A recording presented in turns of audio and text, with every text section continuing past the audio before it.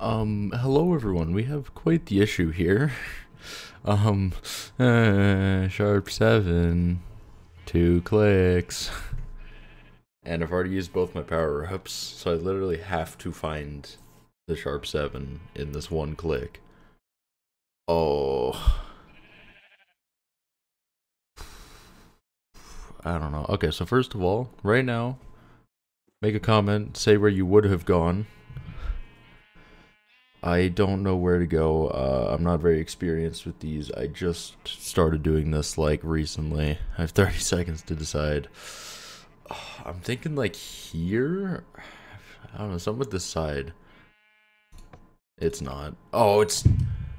Are you kidding me? Oh, that's such an L. I was saying it was either here or here, and I picked the top one. It was the bottom one. Oh, that's such a fail. There goes. Let me take a screenshot of that. Oh.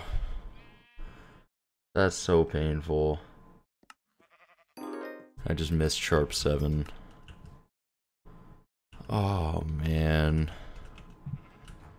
I'm just. The sad part is that I literally. it was in one of the two spots that I said I was thinking about. Might as well for the video just do this last experiment. And of course, if I would have been actually doing these mini games, I would have gotten it. But I'm too lazy to do that, so I get to take the L instead. it's a little bit unfortunate because I also had a uh, insta-find that I used throughout that. Anything in there? No, just Siphon 4. I, that's so tough. I just started doing experiments again like today and really did not think I was going to see a tier 7.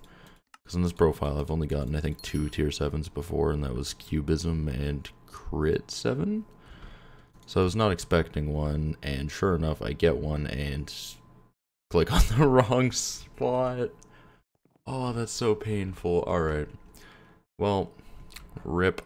I'm just sad that I guessed the wrong spot out of the two that I had.